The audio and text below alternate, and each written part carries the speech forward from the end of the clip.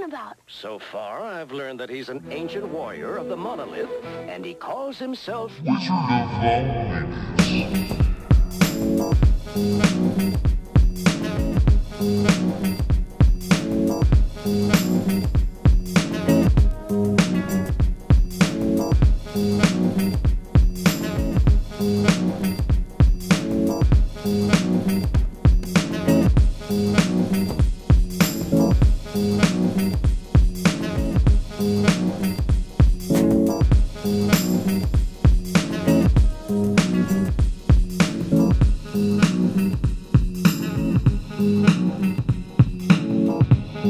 Wizard of